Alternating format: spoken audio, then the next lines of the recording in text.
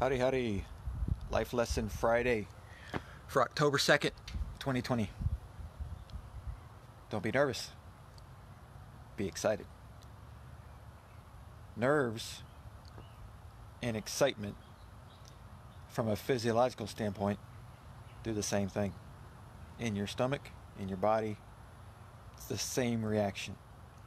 So, with that, if you tell yourself in your mind and you start talking to yourself with the frame set that you're excited to do whatever it is, whatever task is coming up, whatever performance is coming up, whatever it is that normally you get nervous about, and you're nervous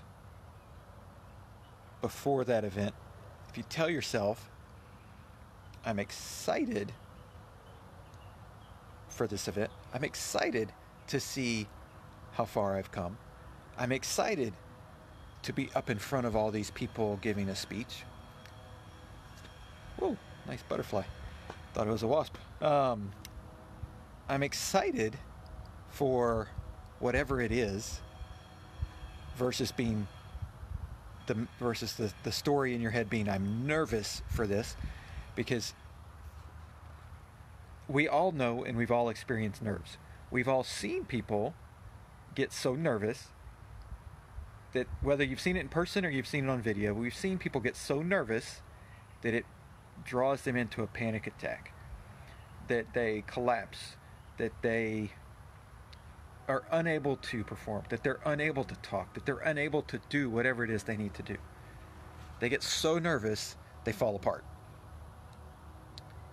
but it's the same chemical reaction going on in your body, the same physiological reaction going on in your body from nerves and excitement. It's the same butterflies.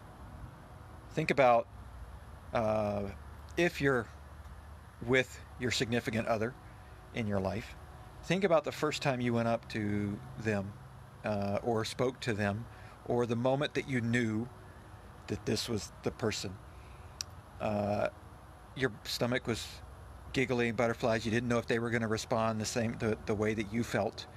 All of those things, right? But it was an excitement. And you've heard people say it's a nervous excitement. Well, nerves and excitement do the same thing. So if you tell yourself before you're going up for that presentation, before you're doing a sales presentation, before you're performing on the athletic field, whatever it is, if you tell yourself that you're excited, you're going to perform better. You're going to do better. And you're not going to let the nerves bother you. And it's the same reaction. So you might as well tell yourself that and spin it in the way that's good for you instead of letting the nerves potentially take you down. So uh, be excited about life. Be excited about what's coming up. Be excited about what tomorrow brings even though you may be nervous as anything about it, you may be waiting for test results for something, you may be, who knows, and so you're nervous. Don't let the nervousness happen because the nervousness leads to worry. And worry is going to take you in a place that you don't want to be. It's going to take you down uh, a road that is going to lead you potentially to very negative thoughts, um, and potentially thoughts that you don't need to even have because they're they're founded on nothing. Uh, a lot of times we worry about things that never ever happen, but we worry about that they might happen, and then they never happen. And so we spend all this energy worrying when we could just be simply excited about what life is going to bring us on the other side. It may not always be a great thing. Sometimes life brings us difficulties, challenges, but we can be excited at how we approach that instead of nervous about it, and you'll come out the other side a little bit sweeter and a little bit better and a little bit stronger. So that's the life lesson for today. Be excited about life.